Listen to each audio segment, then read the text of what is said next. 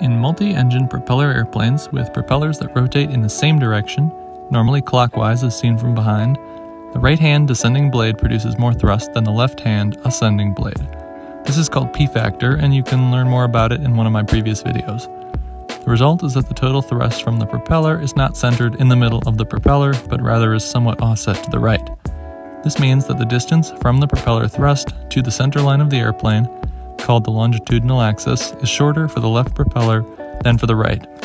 If one engine fails on a multi-engine airplane, it can be difficult to control because of the imbalance between thrust from the operating engine and drag from the dead engine.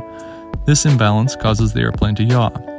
However, this effect is different depending on which engine has failed. If the right engine fails, the relatively shorter distance between the left propeller's thrust and the longitudinal axis means this yawing effect is not as strong the left engine fails, however, the longer distance between the right prop's thrust and the longitudinal axis results in a larger yaw. The same way, say, a force applied to a longer wrench would create a stronger turning force to tighten a nut. This greater yawing when the left engine fails is why the left engine is considered the critical engine, as its failure results in more difficulty controlling the aircraft than if the non critical engine failed. Multi engine airplanes with propellers that rotate opposite directions do not have a critical engine.